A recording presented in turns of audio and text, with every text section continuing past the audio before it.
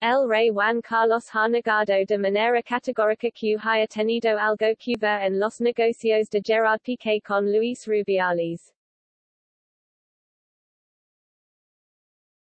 Cuando todavía no nos hemos recuperado del pasado más familia de Don Juan Carlos junto a sus hijas y cinco de sus nietos y se habla, incluso, de que el rey emérito podría estar pasando unos días en Sanxenxo Pontevedra, han salido a la luz unas conversaciones del futbolista Gerard Piqué con Luis Rubiales, presidente de la Federación Española de Fútbol que salpicarían al padre de Felipe VI.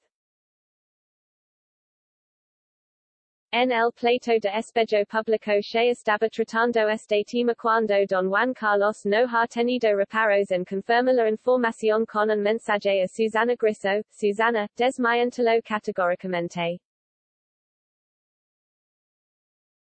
Me puso Piqué en WhatsApp para verme, pues venir Abu Dhabi a presentar su Copa Davis y la dije muy amablemente que no estaría aquí, pero de lo otro nunca, dice el mensaje con el que el monarca se desvincula de cualquier gestión pero corrobora que Gerard Piqué y Luis Rubiales trataron de fijar una cita con él. Chegan ha publicado el confidencial, Piqué y Rubiales tenían intención de recurrir al rey Juan Carlos para que actuara de intermediario y así les ayudara a firmar un contrato que tenía como objetivo el traslado de la Supercopa de España a Arabia Saudí obteniendo una comisión de hasta 24 millones de euros. Cris que acercándonos al rey. Puede ayuda, que muy buena relación con la gente de Ali, con los reyes o quien sí de los saudíes.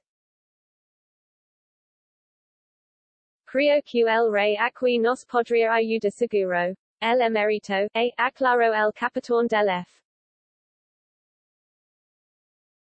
C. Barcelona a Luis Rubiales el 12 de mayo de 2019, lo que es una realidad es que a pesar de levar casi dos años líos de España, el rey Juan Carlos sigue protagonizando historias de lo más controvertidas.